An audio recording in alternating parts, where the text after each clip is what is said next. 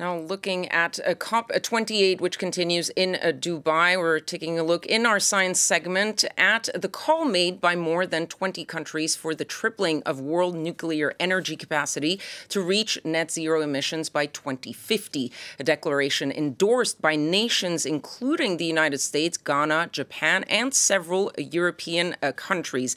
Now, joining us uh, to uh, discuss and explain the sudden resurgence of interest for uh, nuclear energy uh, is our science editor, Julia Sieger. Now, Julia, nuclear, the word nuclear was almost taboo in previous COP uh, editions. Today, it appears that it could possibly be a solution. Exactly. I think I, I, even want to go back. I think the, the first rejection of nuclear energy happened in 1979 after uh, the Three Mile Island incident in the United States, and then, of course, followed by the 2011 uh, earthquake in Fukushima, which led some countries like uh, Belgium or uh, Germany to want to phase out of nuclear energy. Now, uh, we're actually seeing that some countries are going back on that decision, and one of the reasons why is that the industry is evolving. And as John Kerry said, uh, you know, it's not a miracle solution, but you can't reach net zero by 2050 if you don't have nuclear energy in the energy mix. So it's seen as a complement to renewable energies who have the problem, of course, of intermittency. So you can't always harness the sun or the wind. And because energy, electricity can't be stored, that's a huge problem. Now, another advantage of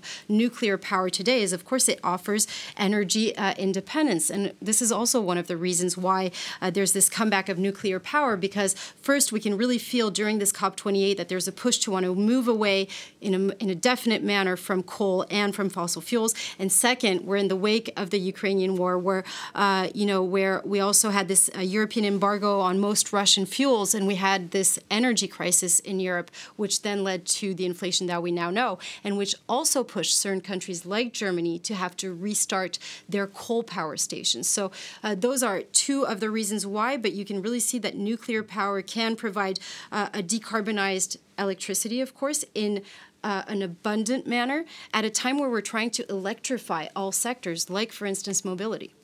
Now, we've seen all these advantages that you've uh, told us about but yet there are still some problems with right. nuclear energy. Of course. Nuclear power is, for instance, considered very water consuming. At the same time, it has a low impact in terms of land use. One of the main problems also is that it takes time to deploy. You have to construct the entire power plant, which takes time.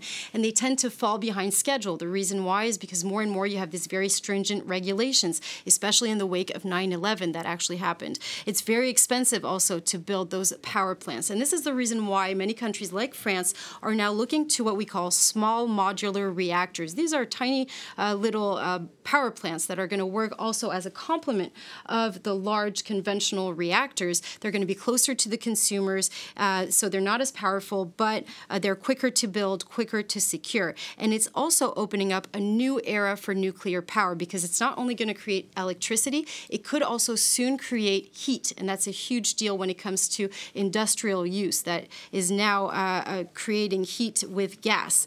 Uh, it can also produce fresh water through desalination plants and perhaps decarbonize hydrogen. For now, they're not yet on the market, but they're moving very fast. And one of the problems that we've seen in that industry is because of you know this uh, this rejection that we saw in the beginning of the 80s. There hasn't been any investment in those nucle- this nuclear industry for decades, and this is something that uh, those countries has have called for as well at COP28. And there's uh, also the, the question of uh, the radioactive waste. We're looking long term, the security of uh, nuclear plants, and how do you manage that waste? Of course. So the security issue, it's a huge issue. I mean, uh, you have to see there's security concerns when it comes to incidents, but also malicious acts. When it comes to uh, management waste, so just to give you an idea, following recycling uh, operations, you're going to have 96% of used nuclear fuel that can be reproduced. We're going to see it uh, in, in, just a minute. So 96% of used nuclear fuel that can be reused to produce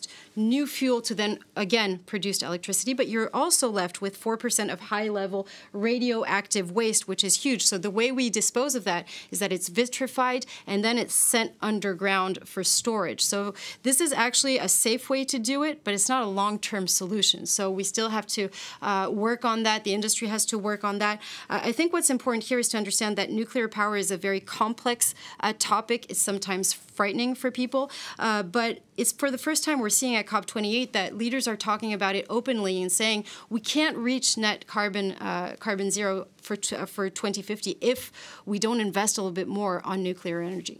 It's all about a little bit of a balancing act when it comes to uh, nuclear exactly. energy. Exactly. And also realizing that when things go wrong on the international scene, unfortunately, many countries tend to have to revert to dirty fuels.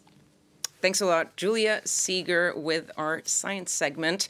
And that wraps it up for this hour of uh, Live from Paris, but I'll be back in after just a quick break.